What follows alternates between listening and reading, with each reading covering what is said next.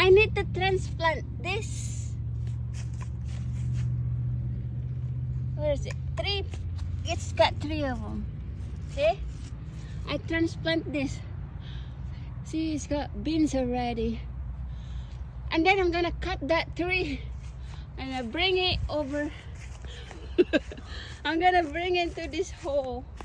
I transplant it here because we're gonna have a, a temporary garage.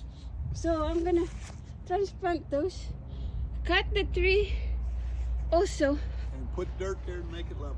Yeah, okay. We'll see. I cut the tree right there. So the tree gonna die, but there you go. I hope you leave. Oh, it's flooding. There you go. It's in there now. La la, it looks like never touched. So I transplant everything. Wow, it's flooded. Okay. It looks like it's still sitting there.